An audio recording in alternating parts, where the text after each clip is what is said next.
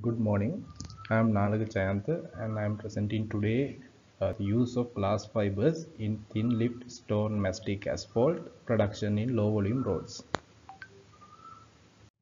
As an overview, in Sri Lanka there's a significant investment on upgrading low volume roads by the government.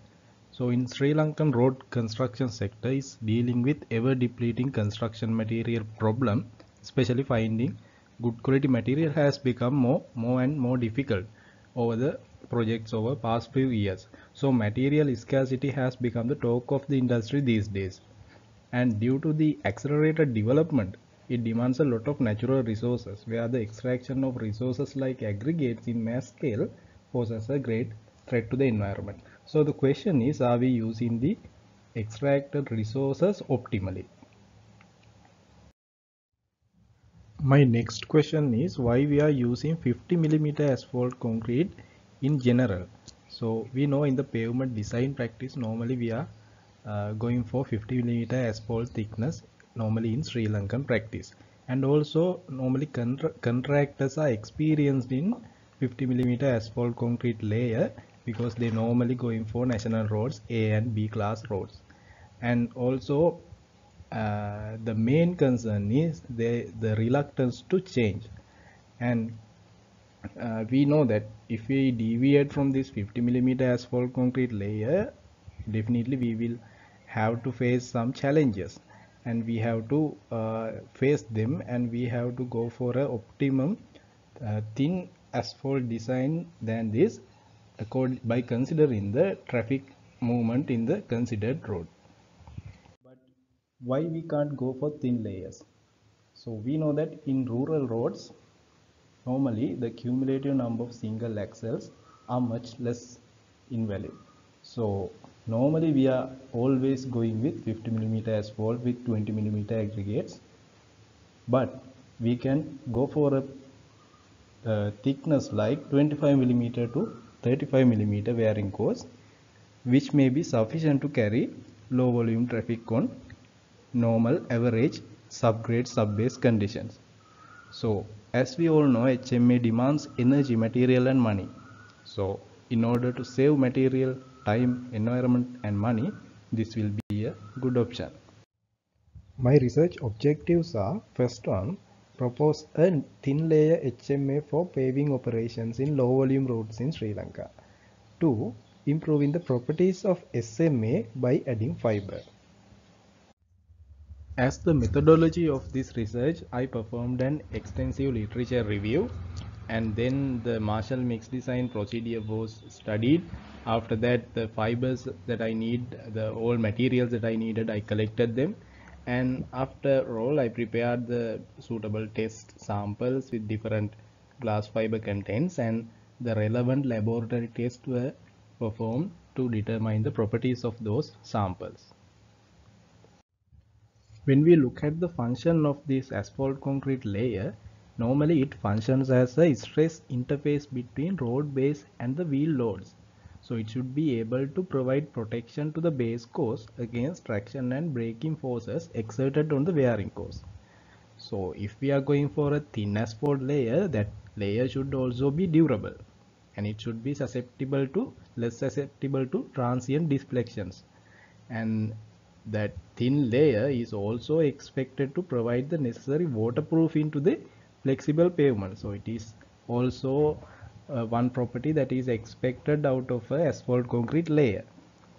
So uh, in general asphalt layers offers a high ride quality and sufficient skid resistance. So that's why people prefer flexible pavements asphalt pavements over any other type of pavement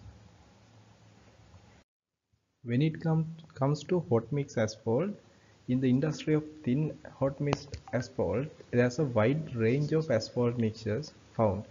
So normally dense graded asphalt, gap graded asphalt, and open graded and stone mastic asphalt.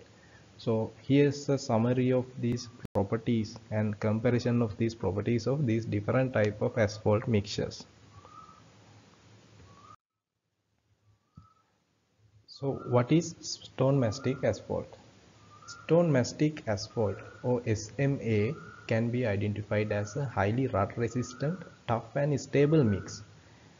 Normally SMA mixes rely on stone on stone contact to withstand the forces exerted by the pavement. So as in the diagram shown here, you can see the stone mastic asphalt is uh, not dense graded one it is almost it has the stone on stone contact to bear the loads exerted by the pavement.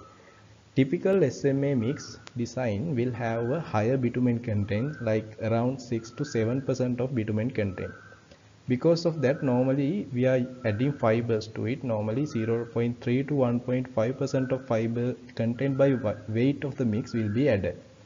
So voids in mineral aggregates value should be above 17 or above 18 these are typical values and the void content should be 3 to 4 SMA has better abrasion resistance, skid resistance, shear resistance and cracking resistance when compared to normal dense HMA as shown in the previous table. Addition of fibers. So we have talked about asphalt concrete, then thin layer asphalt, then stone mastic asphalt. Now why we are adding fiber to it? So fiber additives are used in asphalt concrete since they can prevent raveling or excessive drain down, especially in stone mastic asphalt because we are using higher amount of asphalt containing uh, bitumen in there. So it also resists cracking and rutting. There are different types of fibers that are used in the industry in asphalt mixtures.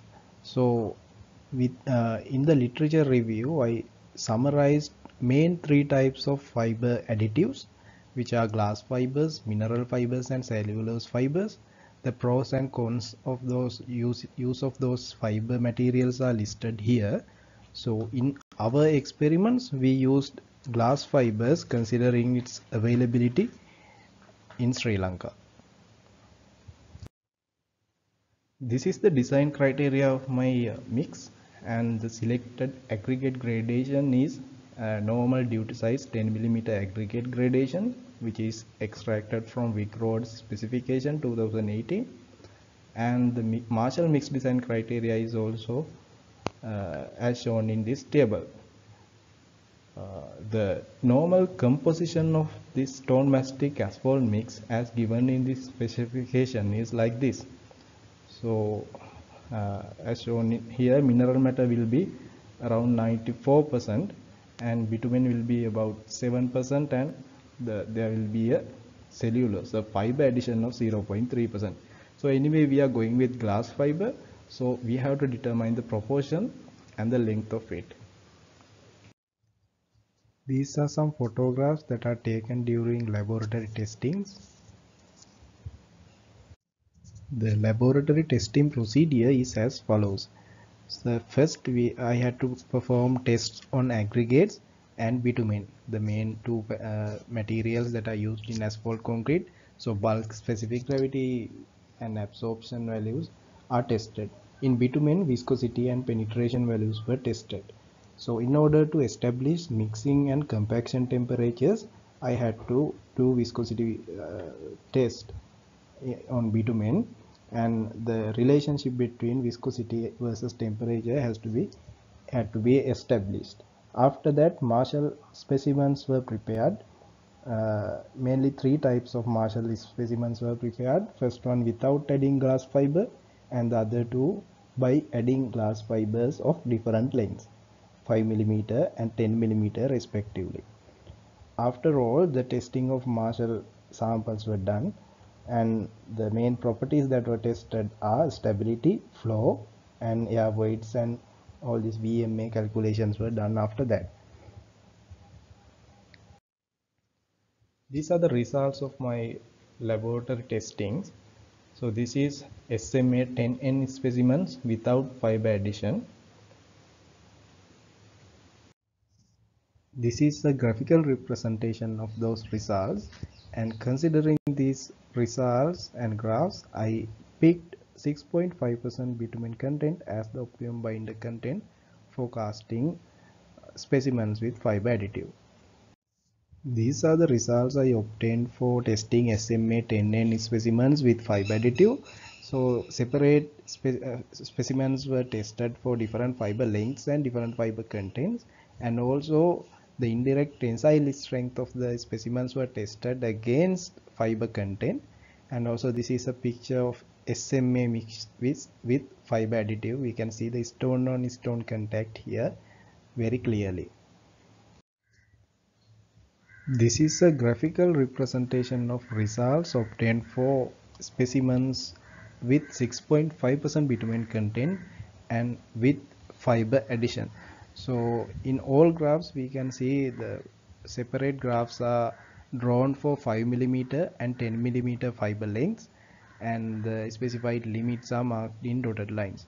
So uh, in stability gra graph we can see up to 2% of fiber content stability criteria is satisfied.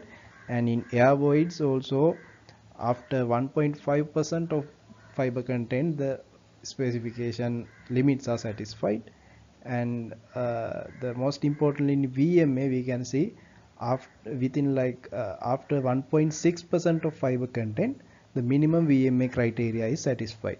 So considering all of these results following conclusions can be made.